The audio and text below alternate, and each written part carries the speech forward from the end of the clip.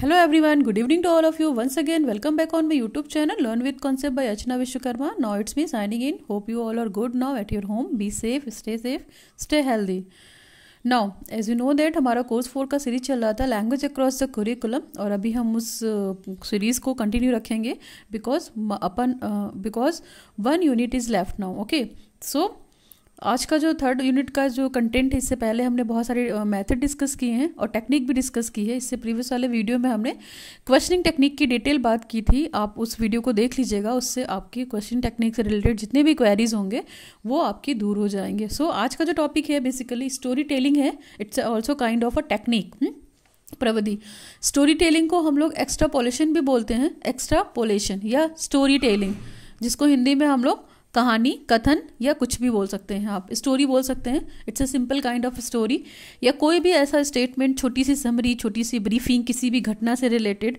किसी भी लिटरेचर से रिलेटेड एंटरटेनमेंट से रिलेटेड छोटी छोटी शॉर्ट मॉरल स्टोरीज ऐसी बहुत सारी स्टोरीज हो सकती हैं, जिनको हम स्टोरी टेलिंग मैथड में इंक्लूड कर सकते हैं। Basically which is a also a technique storytelling technique जो है, वो बच्चे की लर्निंग को इफ़ेक्टिव बनाने के लिए ईजी बनाने के लिए और एनकरेजफुल बनाने के लिए यूज़ की जाती है।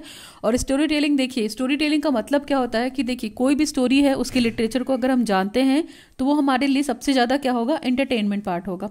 बेसिकली हम स्टोरी टेलिंग टेक्निक का यूज़ क्यों करते हैं?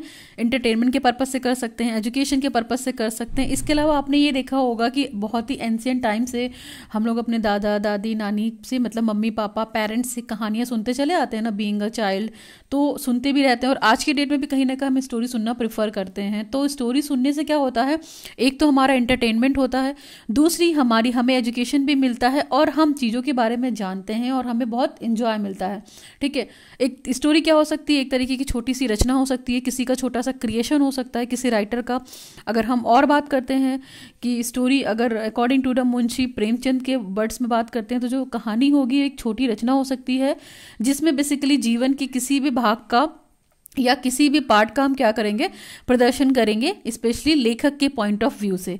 ठीक? चाहे उसकी, उसका स्टाइल देखेंगे, हम उसका कैरेक्टर देखेंगे, या उसको हम एक किसी भी फीलिंग को जिसको वो बताना चाहता है लाइफ के किसी भी एस्पेक्ट को जिसको वो अपने विचारों के माध्यम से बताना चाहता है तो बींग अ राइटर इस चीज़ को वो देखेंगे। इसके अलावा कहानी क्या हो सकता है? छोटा सा डिस्क्रिप्टिव फॉर्म हो सकता है, ठीक है? आपकी रियल लाइफ को इंडिकेट करेगा। ये भी एक आर्ट है स्टोरी टेलिंग करना भी, और ये सभी की बस की बात नहीं है कि एक अच्छी सी स्टोरी लिख दें या अच्छी सी स्टोरी बता दें, है ना? तो कहानी का देखेंगे आप तो बहुत सारे सिंपल चीज़ और this method or this technique may be considered as the especially extension method of the sentence method. जो आप लोगों ने सेंटेंस मेथड पढ़ा था टीचिंग मेथड लैंग्वेज में, उसका एक्सटेंशन फॉर्म है सेंटेंस मेथड का। है ना? मेथड तो बहुत सिंपल है और इसमें बेसिकली होता क्या है कि जो टीचर होता है, एक सिंपल से स्टोरी लेता है, बच्चों के इंटरेस्ट के अकॉर्डिंग फिर उस स्टोरी को क्या करता है? बच्चों की रियल लाइफ से, बच्चों की थिंग्स से, बच्चों की मोटिवेशन से, बच्चों के इंटरेस्टिंग पॉइंट ऑफ़ व्यू से कनेक्ट करता है कि हर बच्चा प्रतिदिन किस तरीके की चीज़ों को क्या करता है, अपनी लाइफ में फेस करता है। तो वो स्टूडेंट से फैमिली टॉपिक को या स्टोरी को क्या करता है? स्टूडेंट ऐस, ऐसे स्टोरी को चूज़ करता है जिसमें बच्चे इंटरेस्ट लेके सुने है ना? जो हम प्रतिदिन अपनी लाइफ में होता है ना कुछ ना कुछ नई नई कहानियाँ सुनते हैं कुछ मॉरल स्टोरीज सुनते हैं कुछ मॉरल वैल्यूज़ जानते हैं छोटी छोटी मूवीज़ देखते हैं छोटी छोटी स्टोरीज सुनते हैं तो उनसे क्या होता है? हमारा एंटरटेनमेंट भी होता है और हमें नॉलेज भी मिलती है। तो यहाँ पे क्या होता है? टीचर एक ऐसी कोई भी शॉर्ट स्टोरी ले सकता है जिससे बच्चे क्या हों? फेमिलियर हों और टीचर क्या करता है, उस स्टोरी को कई टाइम बच्चों को बुलवाता है। मतलब क्या करवाता है? उनसे ओरल बुलवाता है, फिर उनको सुनाता है, फिर क्या करता है? बच्चों तक कन्वे करता है। तो बच्चे क्या होते हैं, उस स्टोरी को सुनने के लिए प्रिपेयर हो जाते हैं और उस स्टोरी को तीन चार बार सुनकर उनके अंदर इमेजिनेशन पावर डेवलप होने लगती है। उनका इमेजिनेशन डेवलपमेंट होने लगता है, कि स्टोरी को डेवलपमेंट करने लगते हैं। इसके अलावा अगर हम बात करते हैं, जो टीचर स्टोरी प्रेजेंट करता है तो उसका एक्सप्रेशन या उसकी फीलिंग्स बहुत ही मतलब अच्छी होनी चाहिए, बिल्कुल अच्छा वे होना चाहिए ताकि बच्चों को समझ में आए। इसके अलावा जब टीचर स्टोरी रिप्रेजेंट कर लेता है, बच्चे कई बार रिपीट कर लेते हैं तो टीचर क्या करता है बेसिकली उन स्टोरी को वो बिल्कुल टूटे फूटे फॉर्म में लिख देता है मतलब जिग जैग मोशन में लिख देता है या इलॉजिकल ऑर्डर में लिख देता है। तो बच्चे क्या करते हैं, जब बच्चे स्टोरी अच्छे से ध्यान से सुनते हैं तो उसी स्टोरी को वो क्या करते हैं, एक लॉजिकल सीक्वेंस में अरेंज करने की कोशिश करते हैं। तो ये मेथड बेसिकली उनके लिए अच्छा है, जो लर्नर है, लेकिन बिगनर के लिए ये मेथड बेटर नहीं है। ये मेथड या इस टेक्निक की बात करते हैं तो इस मेथड या टेक्निक के द्वारा हम पूरे सिलेबस को कवरअप नहीं करा सकते हैं। ठीक है?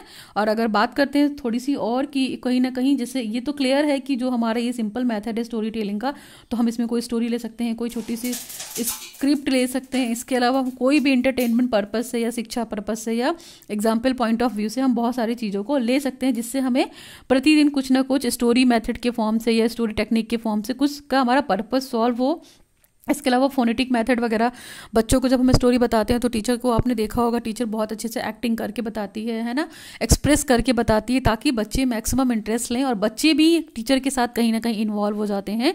तो बेसिकली ये टीचर मतलब टीचर और चाइल्ड सेंटर्ड मैथड भी हो सकता है। इसमें दोनों एक्टिव हैं, दोनों इन्वॉल्व हैं, क्योंकि बच्चे भी खुश होकर सुन रहे हैं और बच्चों का क्यूरसिटी लेवल बहुत अच्छा होता है। तो जो ये टीचिंग मैथड है, जो ये स्टोरी मैथड है आपका स्टोरी टेलिंग मैथड ये कहीं ना कहीं आपके लिए बहुत काम आने वाला है और आपको पता होना चाहिए और आपको आना भी चाहिए ठीक है? uh, मैं एग्ज़ाम्पल एज एग्ज़ाम्पल बात करती हूँ तो चलिए अभी थोड़ा सा तो इंट्रोडक्शन दिया मैंने अब थोड़ा सा डिस्कस करते हैं कि है क्या। What is storytelling storytelling is conveying knowledge event और experiences in words by which using sketch images diagram maps and sound often by the embellishment यानी कि स्टोरी टेलिंग क्या है? एक तरीके का कहना है, अपनी अपनी नॉलेज के बारे में, अपने ज्ञान के बारे में, अपनी किसी घटना के बारे में, अपने किसी एक्सपीरियंस के बारे में शब्दों में कहना है। ठीक है? शब्दों के माध्यम से ही क्यों हम स्केच के माध्यम से भी कोई स्टोरी को फॉर्म कर सकते हैं? इमेजेस के माध्यम से स्टोरी को फॉर्म कर सकते हैं? इसके अलावा कुछ पिक्स या डायग्राम ड्रॉ करके भी मैप्स के थ्रू भी हम स्टेरी फॉर्मेशन कर सकते हैं, ठीक है? और हम बोल कर भी क्या कर सकते हैं, जो हमारे पास में है, जो हमारे जेब में है, जो जिसके बारे में हम जानते हैं, जो हमारी ब्यूटी है तो हम उसके थ्रू भी स्टोरी को रिप्रेजेंट कर सकते हैं। तो that is the story telling यानी कि कुछ भी कहना, किसी घटना के बारे में, किसी अनुभव के बारे में, किसी एक्सपीरियंस के बारे में, जो आप जानते हो। इसके अलावा it is a literally it is a literally about telling a story है ना? एक ये क्या है? एक स्टोरी मतलब स्टोरी को बताने का एक तरीका है। A person has a valuable knowledge tells a story from his or her experiences in front of people who want to give and gain knowledge मतलब एक एक तरीके का ये क्या है? लिटरली मतलब स्टोरी टेलिंग को लिटरली बताने का तरीका है कि एक पर्सन है वैल्यूएबल पर्सन है, जिसके पास ज़्यादा नॉलेज है, और वो अपनी स्टोरी को बता रहा है। किसको बता रहा है? उस, उसके पास उसका एक्सपीरियंस है। वो सामने वालों को बता रहा है जो पीपल नॉलेज गेन करना चाहता है। यानी कि ज़्यादा नॉलेज वाला व्यक्ति ज़्यादा एक्सपीरियंस वाला व्यक्ति अपने एक्सपीरियंस को अपने अनुभव को शेयर कर रहा है कम जानने वाले व्यक्ति को ठीक है? तो that is the story telling इससे नॉलेज भी गेन होती है। बेनिफिट्स क्या हो सकते हैं स्टोरी टेक्निक की? देखिए benefits of story telling technique का storytelling has strong and unique benefit storytelling जो मेथड है या जो टेक्निक है, उसका स्ट्रॉन्ग और बेनिफिट तरीका है मतलब यूनिक यूनिक है, बहुत यूनिक है। इस तरीके से क्या हो सकता है, जो बच्चा पढ़ता है, वो बहुत इंटरेस्ट लेके पढ़ता है, चीज़ें काफ़ी टाइम तक परमानेंट रहती हैं लाइफ में, है ना? और कहीं ना कहीं इंपॉर्टेंट भी रहेगी बहुत सारी स्टोरीज जिनको हम अभी तक पढ़ते आ रहे हैं, आप जानते होंगे, आप बहुत सारी स्टोरीज से फैमिलियर भी होंगे। ठीक है नेक्स्ट है transfer tacit part of knowledge वो क्या होता है? ज्ञान का जो मेन पार्ट होता है, जो टैक्सिक पार्ट होता है, उसको वो ट्रांसफ़र करता है स्टोरी टेलिंग मैथड के थ्रू फिर नर्चर्स गुड ह्यूमन रिलेशनशिप और ये नर्चर और नेचर के साथ, दोनों के साथ क्या करता है? अच्छा रिलेशनशिप बनाने की कोशिश करता है। Now we come to the next point next point में हमारा है bring out passion of audience और ये क्या होता है, जो आपकी ऑडियंस है, जो स्टोरी सुन रही है, उसके लिए एक तरीके से पैशन हो जाता है। जो भी स्टोरी टेलिंग बंदा होता है, ज़ाहिर सी बात है कि वो उस, अपनी हर चीज़ को बेटर करके ही स्टोरी सुनाएगा। स्टोरी को पहले कई बार वो रिवाइज कर लेगा, उसकी बहुत बार प्रैक्टिस कर लेगा। अपने ऑडियंस को गेन करने के लिए ऑडियंस को रिटेन करने के लिए हमारी, की मतलब हमारी जो ऑडियंस है बेसिकली हमारी स्टोरी टेलिंग टेक्निक को बताने के बाद या अपने एक्सपीरियंसेस को शेयर करने के बाद या अनुभव को शेयर करने के बाद, वो ऑडियंस वहीं पर बनी रहे और ध्यान से सुने। ठीक है? Cause to develop the imagination skills of audience ये जो आपकी ऑडियंस है या जो आपके दर्शक हैं, उनके अंदर कहीं ना कहीं आपकी कल्पना शक्ति का विकास करते हैं। कल्पना शक्ति या इमेजिनेशन स्किल का डेवलपमेंट होता है। नेक्स्ट है आपका main purpose of this technique is sharing and the transferring knowledge इस टेक्निक का मेन पर्पज क्या होता है कि नॉलेज को शेयर करना है नॉलेज को ट्रांसफ़र करना है towards the student towards our audience जिसको भी हम बताना चाहते हैं। Main principles of storytelling storytelling के मेन प्रिंसिपल्स क्या हो सकते हैं? Storytelling must have a good presentation देखिए स्टोरी टेलिंग जो भी कर रहा है, जो भी व्यक्ति है, जो भी पर्सनालिटी कर रही है, उसके पास जो प्रेजेंटेशन इसके लिए वो बहुत इफ़ेक्टिव होनी चाहिए। क्योंकि अगर वो इफ़ेक्टिव वे से प्रेजेंटेशन नहीं देगा तो उसकी ऑडियंस जो होगी, वो बिल्कुल रिटेन नहीं कर पाएगी बोर हो जाएगी, कहिए तो आधे टाइम में वो अपनी ऑडियंस को छोड़ के जा सकता है। तो स्टोरी टेलिंग जो भी रिप्रेजेंट करेगा प्रेजेंटेटर को इस बात का ध्यान रखना है कि वो अपनी स्किल्स को बहुत अच्छे से रिप्रेजेंट करे। नेक्स्ट है गुड आई कॉन्टैक्ट जब भी वो स्टोरी टेल करेगा या बताएगा तो अपनी ऑडियंस के साथ अच्छा आई कांटेक्ट रखे। ऐसा नहीं है कि स्टोरी बता रहा तो कहीं ऊपर देख रहा है, नीचे देख रहा है, इधर उधर नहीं। उसको बिल्कुल ऑडियंस के सामने देखना आई कांटेक्ट करना है, लेकिन उसको घूरना नहीं है। नेक्स्ट है good enthusiasm and expression good enthusiasm का मतलब है कि पूरी एनर्जी के साथ वह स्टोरी को बताए और अपने एक्सप्रेशंस को बिल्कुल अच्छा रखे लिविंग रखे। उसको ऐसा लगे कि वो स्टोरी बता रहा है तो उसी स्टोरी को वो जी रहा है ना? उसी स्टोरी में वो फील कर रहा है, उसी स्टोरी में वो घुस गया है, उसी लाइफ उसकी लाइफ में। तो जो भी कोई स्टोरी बता रहा है, अपने एक्सप्रेशन एक्सप्रेशंस को और अपने एंथोजियास्टम यानी कि एनर्जी लेवल को अरेंज करें, अच्छे से रखें। नेक्स्ट है गुड प्रिपरेशन स्टोरी बताने से पहले अपनी ऑडियंस को अच्छे से एक प्रिपरेशन कर ले, ठीक है? अपने आप को प्रेजेंट कर ले रिप्रेजेंट करके देख ले प्री प्रैक्टिस कर ले, उसकी प्री प्रिपरेशन कर ले, तब वो प्रेजेंटेशन अच्छे से दे सकता है। नेक्स्ट क्या हो सकता है? Good use of voice and the good value volume जो उसकी आवाज़ है, वो बहुत अच्छी हो ठीक है? उसका जो वॉल्यूम हो बहुत अच्छा हो। मतलब जो वॉल्यूम का मतलब पिच हाई लो कहाँ पे करनी है, ये उसको पता होना चाहिए। उसका वॉइस कैसा होना चाहिए, सभी तक ऑडिबल होना चाहिए। सभी को सुनने योग होना चाहिए। ऐसा नहीं है कि पीछे वालों को सुनाई नहीं दे रहा, वो इतना धीरे बोला और ऐसा इतना तेज नहीं बोलना है कि उनके कानों में मतलब जहर घोल रहा है। ऐसा नहीं बोलना है कि उनको इरिटेट करे। आपको ऐसा बोलना है कि आपके पिच आपका इंटोनेशन जो भी आपकी एक तरीके का होता है ना कि हम रीडिंग करते हैं किसी भी चीज़ को या स्पीकिंग करते हैं किसी भी चीज़ को तो एक हर तरीके का फॉर्मेट होता है मैकेनिक्स होता है। ये सारी चीज़ें उनको ध्यान रखनी पड़ेगी और बींग अ क्या? स्टोरी रिप्रेजेंटेटर नेक्स्ट है अप्रोप्रिएट टॉकिंग स्पीड ठीक है? अप्रोप्रिएट टॉकिंग स्पीड का मतलब उसको बहुत स्लो नहीं बतानी है स्टोरी को, बहुत फास्ट नहीं बतानी, उसको ऑप्टिमम लेके चलना है, जिससे सामने वाले को स्टोरी का कंटेक्ट समझ में आए स्टोरी का कंक्लूजन समझ में आए स्टोरी के कैरेक्टर समझ में आए और स्टोरी समझ में आए। है ना? नेक्स्ट है good use of body and the hand gesture जब भी आप स्टोरी को टेल करिए स्टोरी को बताइए तो अपने आप बॉडी लैंग्वेज यूज़ कीजिए। एक जगह फिक्स होकर मत बताइए कि आप एक जगह डाइस पे फिक्स हो गए हैं या चेयर लेकर बैठ गए और अपनी स्टोरी को बता रहे हो। ऐसा नहीं करना है आपको। आपको अपनी बॉडी लैंग्वेज को यूज़ करना है ना थोड़ा सा मूवमेंट करना है और अपने अंदर फील लाकर उसको एक्सप्रेस भी करना है। अपने हाथों को हिलाइए अपने मतलब फेशियल एक्सप्रेशन को हिलाइए मुँह मतलब कुछ डरावना सीन है तो अपने फेशियल एक्सप्रेशन को बनाइए कुछ हँसी वाला सीन है तो उस, उस तरीके से उसके अकॉर्डिंग अपने फेशियल एक्सप्रेशन को कीजिए, हाथों को यूज़ कीजिए, अपने गेस्चर को यूज़ कीजिए तो that is a main principle of story telling देखिए, है ना? स्टोरी टेलिंग देखिए, कोई भी और भी बहुत सारे प्रिंसिपल हो सकते हैं स्टोरी टेलिंग के, कि मान लीजिए, हमें स्टोरी रिप्रेजेंट क्यों करनी है भाई?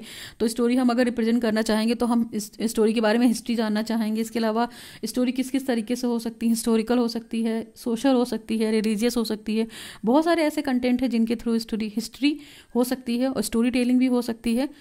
ठीक है? तो स्टोरी टेलिंग में आप ध्यान रखिएगा। हम आगे बात करते हैं स्टोरी टेलिंग स्टोरी टेलिंग देखिए, यहाँ पे स्टोरी टेलिंग मैंने छोटा सा फ्लो चार्ट बनाया है, आप इसे देख सकते हैं। स्टोरी टेलिंग ठीक है, दो वर्ड से कंबाइंड है स्टोरी प्लस टेलिंग स्टोरी का मतलब वही है कि आप अपने नॉलेज को, यानी ज्ञान को और अपने अनुभव को या किसी घटना को शेयर कर सकते हैं। मतलब कन्वे का मतलब यहाँ पर शेयर करना हो सकता है।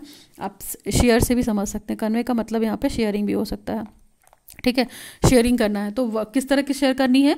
अपनी जो टेलिंग किस तरह की स्टोरी प्लस टेलिंग से मिलकर बना हुआ। तो स्टोरी का मतलब आपको अपनी नॉलेज एक्सपीरियंस शेयर करना है। टेलिंग का मतलब आप जो शब्द यूज़ करेंगे, आप जो स्केचेस यूज़ करेंगे स्टोरी को बताने के लिए इमेजिनेशन करेंगे इमेजेस बनाएँगे डायग्राम बनाएँगे मैप्स बनाएँगे या अपनी आवाज़ के थ्रू या इसके अलावा जिसके बारे में आप जानते हो, उसके बारे में स्टोरी टेलिंग तो that is the story telling history क्या है? स्टोरी टेलिंग टेक्निक की देखिए the story telling technique is quite ancient अगर हम स्टोरी टेलिंग टेक्निक की बात करते हैं तो ये प्राचीन काल से चलती आ रही है। देखिए, हम आज भी स्टोरी सुनते हैं कहीं ना कहीं। इसकी इंपॉर्टेंस आज भी है और बच्चे जानते हैं और बच्चे सुनकर सोते हैं। चाहे अपनी दादी से, अपने पेरेंट्स से, मम्मी, पापा, कोई भी जो बुज़ुर्ग व्यक्ति होता है, वो स्टोरी टेलिंग अच्छे से करता है, अपने एक्सपीरियंस को बताता है, बच्चों को मोटिवेट करता है, बच्चे खुश होकर सोते हैं। फिर it can date back to the origin of human social life ये आपको बैक डेट में ले जाता है और जो मनुष्य का, यानी कि ह्यूमन का जो ओरिजिन लाइफ था सोशल लाइफ कैसा था, वो था। यानी कि पास्ट से कहाँ ले जाएगा? प्रेजेंट की तरफ़ ले जाएगा। पास्ट से कहाँ मूव करेगा? प्रेजेंट की तरफ़ मूव करेगा, है ना? क्या स्टोरी टेलिंग मेथड भाई, हम पास्ट की स्टोरी तो बताएँगे। प्रेजेंट में कौन सी स्टोरी है? प्रेजेंट की स्टोरी को तो कोई जानता भी नहीं है। पास्ट में जो स्टोरियाँ हमने सुनी है, वही हम अपने बच्चों को सुनाने की कोशिश करते हैं। Now we come to the next point कि when to use story telling technique हम स्टोरी टेलिंग टेक्निक यूज़ कब कर सकते हैं? जैसे बहुत सारे ऑर्गेनाइजेशन होती हैं तो वो क्या करती हैं? स्टोरी टेलिंग को जब यूटिलाइज़ कराती हैं तो उनका मेन ओपिनियन ये होता है कि जो एक्सपर्ट स्टोरी बताएगा, उसका बेस्ट से बेस्ट पार्ट हमारे यंगर वंस को, जो जिनको हमको सुनाना है, उनको ट्रांसफ़र कर सकें। तो ऐसा करते हैं बहुत सारे ऑर्गेनाइजेशन कंपनी या संस्था वगैरह जो होती हैं, वो स्टोरी टेलिंग माध्यम के स्टोरी के स्टोरी टेलिंग माध्यम से अपनी भावनाओं को, अपनी एक्सपीरियंसेस को, अपने डेली लाइफ रूटीन को शेयर करती हैं सामने वाले से, जो उनसे कम जानता हो। नेक्स्ट है some organisation use story telling to share lesson learn from the project to colleges who were not participating in the project कभी कभी क्या होता है, कुछ ऑर्गेनाइजेशन ऐसी होती हैं जो स्टोरी टेलिंग मेथड का यूज़ करती हैं किस चीज़ को लेसन प्लान को शेयर करने के लिए, ताकि जो उस प्रोजेक्ट में अपने कोलीज को शेयर करती हैं, वो अपने पार्टिसिपेंट्स को शेयर करती हैं, जो उस पार्ट उस उस वाले प्रोजेक्ट में पार्टिसिपेट नहीं करते हैं, लेकिन स्टोरी टेलिंग के माध्यम से वो उस प्रोजेक्ट के बारे में अपने पार्टिसिपेंट्स को या अपने कोलिजियस को बता देते हैं, जिसमें वो पार्टिसिपेटेड नहीं है। नेक्स्ट क्या हो सकता है in urban planning we can use this technique for sharing planners knowledge or experiences or who got knowledge from the others experiences among the planning group manner. जो अर्बन प्लानिंग होती है basically आपने देखा होगा, हम यूज़ करते हैं, ये टेक्निक किस लिए यूज़ करते हैं कि शेयरिंग प्लानर के लिए यूज़ करते हैं नॉलेज को शेयर करने के लिए एक्सपीरियंस को शेयर करने के लिए यूज़ करते हैं, ठीक है? Who got the knowledge from the other जिनको अदर एक्सपीरियंस होल्डर से नॉलेज मिलती है। भाई, हमें नॉलेज कहाँ से मिलती है? जो सामने वाला व्यक्ति है, वो स्टोरी के माध्यम से अपनी भावनाओं को बता रहा, अपने फीलिंग्स को बता रहा, अपने अनुभव को बता रहा तो हमें उनसे नॉलेज मिली और हमें जो नॉलेज मिली, हमने दूसरे को ट्रांसफ़र की। तो ये भी क्या एक तरीके का प्लानिंग ग्रुप मेंबर्स इसमें जो एक्टिव होते हैं, वो सभी एक दूसरे के साथ कहीं ना कहीं जुड़े होते हैं। और एक दूसरे से कुछ ना कुछ सीख कर सामने वालों को भी सिखाने की कोशिश करते हैं या बताने की कोशिश करते हैं। नेक्स्ट हमारा है what type of field it can use कौन से ऐसे फ़ील्ड है जहाँ पे हम स्टोरी टेलिंग यूज़ कर सकते हैं? तो बेसिकली देखिए mainly use as the technique in knowledge management जहाँ पे ज्ञान का मैनेजमेंट होता है, वहाँ पे हम इस टेक्निक को यूज़ करते हैं, ठीक है? नेक्स्ट क्या हो सकता है? Field of urban planning basically ये फ़ील्ड ऑफ़ अर्बन प्लानिंग में भी यूज़ हो सकता है। और अगर हम इसके और यूज़ बता सकते हैं तो आप क्लासरूम में भी यूज़ करते हैं बच्चों को स्टोरी बताने के लिए। छोटे बच्चों को हमेशा यूज़फुल रहता है। आप मिडिल क्लास में भी ये ये मैथड यूज़ कर सकते हैं बच्चों को बताने के लिए, किसी भी कथा को सुनाने के लिए, किसी भी स्टोरी को बताने के लिए। तो आप बता सकते हैं, और मिडिल क्लास में भी बहुत सारे होते हैं स्टोरी मैं आपको कुछ के तो नाम बता देती हूँ। देखिए, जैसे कुछ के नाम के बताने के लिए बात करती हूँ तो यहाँ पे आप देख सकते हो, यहाँ पे जैसे हम, मैं बहुत सारी स्टोरी बता सकती हूँ आपको। जैसे ये प्रेमचंद की है तो प्रेमचंद की कौन सी स्टोरी जानते हैं आप? हम प्रेमचंद की बहुत सारी कहानियाँ पढ़ते हैं ना तो प्रेमचंद की कौन सी स्टोरी हो सकती है आपकी? पंच परमेश्वर, बहुत फ़ेमस है। ठीक है, पंच परमेश्वर। इसको आप याद रख सकते हो। इसके अलावा अगर हम बात करते हैं तो जो ईदगाह ईदगाह किसकी है? बहुत अच्छी स्टोरी है। आज भी मुझे याद है ये, ईदगाह। हम लोगों ने बचपन में पढ़ी है, प्रेमचंद की स्टोरी है। ठीक है, ईदगाह याद है, प्रेमचंद की स्टोरी है। ठीक है, ऐसे बहुत सारी स्टोरीज़ हैं जिनके बारे में हम जानते हैं और हम पढ़ते आए हैं और आज भी कहीं ना कहीं हम इसको पढ़ते हैं।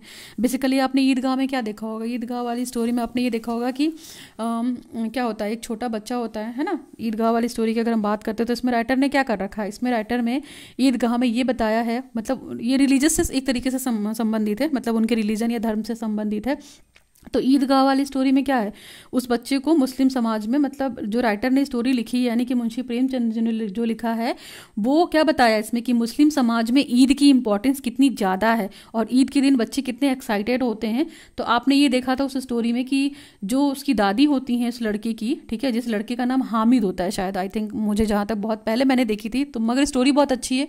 कभी कभी देखने को मिल जाती है टीवीज़ पर भी, आपने नेट पर भी गूगल पर भी, अगर आपको इंटरेस्टेड है तो आप डालकर सर्च करके देख सकते हो इन सब स्टोरी को। ये सारी मॉरल स्टोरीज़ बहुत अच्छी हैं, आज भी ये कहानियाँ हमें प्रेरित करती हैं। तो वो लड़का क्या देखता है कि उसकी दादी मतलब उसकी दादी का तवे पे हाथ जल जाता है जब वो रोटी बनाती है, क्यों? क्योंकि उसके पास चिमटा नहीं होता है। तो क्या होता है? वो जो लड़का हामिद होता है, अपनी दादी के लिए क्या खरीद के लाता है? चिमटा खरीद के लाता है ताकि उसकी दादी का जो हाथ है या उंगली है, वो तवे से जले नहीं। तो ये कहानी का एक क्या है? एस्पेक्ट है ना? इससे हमें उसको उसको सीखने को मिला ना उस बच्चे को कि उसके अंदर क्या है? वैल्यूज़ हैं उसके अंदर और दादी के आइडियल्स भी हैं कि वो दादी को दुख में नहीं देख सकता है। दादी को कॉपरेट कर रहा है। दादी के लिए उसके अंदर क्या है? रिस्पेक्ट है और उसको पता है कि अगर मैं चिमटा ला के दे दूँगा, मैं कुछ और सामान नहीं खरीदूँगा तो मेरी दादी का हाथ जलने से बच जाएगा। उसको पैसे वेस्ट करने की ज़रूरत नहीं पड़ेगी, है ना? वो कुछ और भी तो खरीद सकता है ना। देखिए, बच्चे क्या बेसिकली अपनी पसंद की चीज़ें खरीदते हैं ना, लेकिन उसने वैसा नहीं किया। उसने चिमटा खरीदा, क्योंकि उसको पता है कि उसकी दादी का हाथ रोटी बनाने में जलता है। तो ऐसी ऐसी स्टोरी हैं जिनको हम याद रख सकते हैं। और हिस्ट्री की बात करते हैं तो ये तो सारी हिस्ट्री वाली है।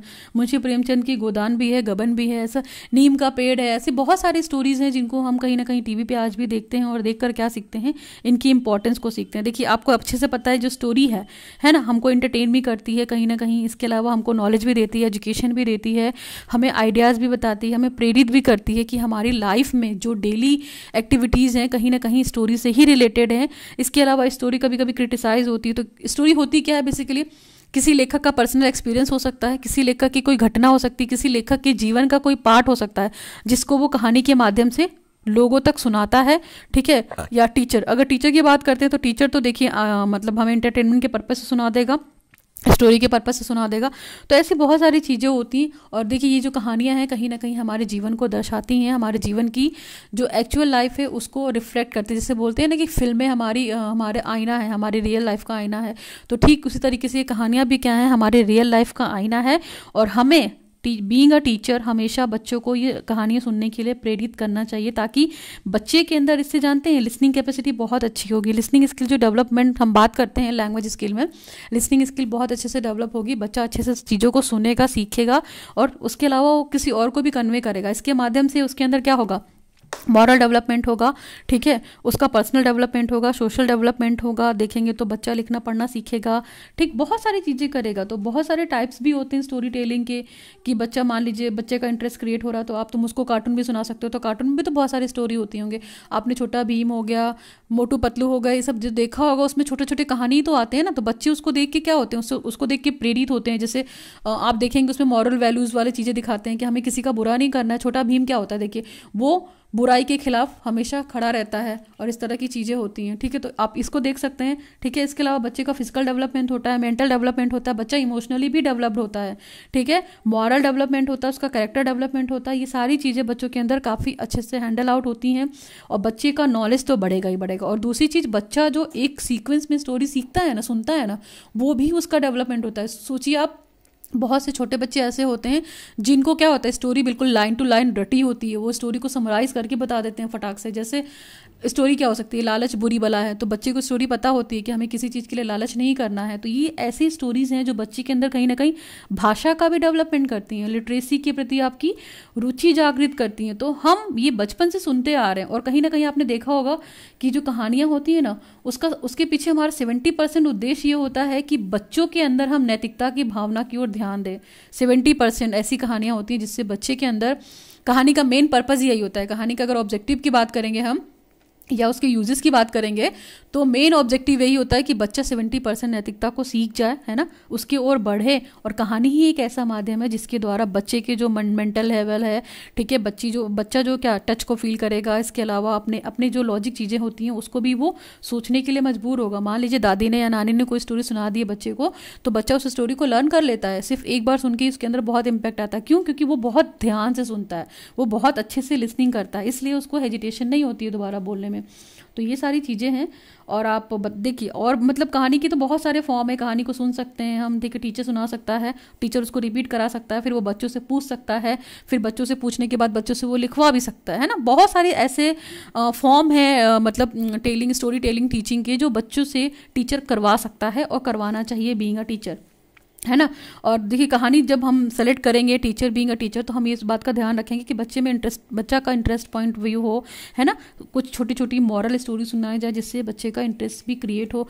और जब टीचर क्लास में स्टोरी सुनाए तो उससे रिलेटेड कुछ टिपिकल टर्म जो होते हैं, वो बोर्ड पर लिख सकता है और बच्चों को टूटा फूटा होने के साथ उसको क्या कर सकता है? समराइज कर सकता है। तो ये तो बेसिकली था हमारा बहुत सारा कहानी से रिलेटेड ऑब्जेक्टिव अब यहाँ पे मेरा लास्ट कंटेंट है ये। How to use story telling technique हम उसको यूज़ कैसे कर सकते हैं? बहुत सिंपल फॉर्म में मैंने यहाँ पे तीन इमेजेस बना रखी हैं तो आप इनको फॉलो कर सकते हैं। जैसे इसमें लिखा हुआ फ़र्स्ट वाले में आइडेंटिफाइंग की area to transfer the knowledge और एक्सपीरियंस मतलब आप की एरिया, यानी कि अपना एरिया डिसाइड कर लीजिए कि आपको किस एरिया में अपने अनुभव को शेयर करना है, या किस एरिया में अपने अनुभव को ट्रांसफ़र करना है, या अपने नॉलेज को ट्रांसफ़र करना है. यानी कि आप कैसी स्टोरी सुनाना चाहते हो? मॉरल स्टोरी सुनाना चाहते हो?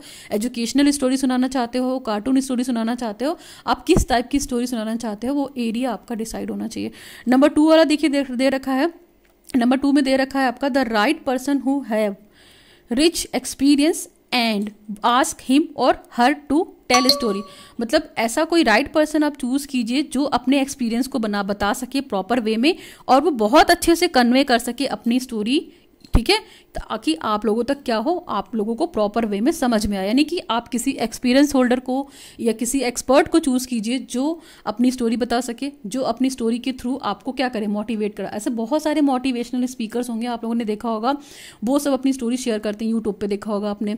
अभिनव बिंद्रा हो गया, ये संदीप माहेश्वरी हो गए स्पीकर्स हैं ये सब। ये सब मोटिवेशनल स्पीकर्स हैं। आप इनकी दो चार मिनट की स्पीच सुनिए ना, आपके अंदर देखिए इतना मोटिवेशन भर जाएगा ना कि आप जो काम नहीं भी करना चाहते हो ना, आप वो करने लगोगे? क्यों?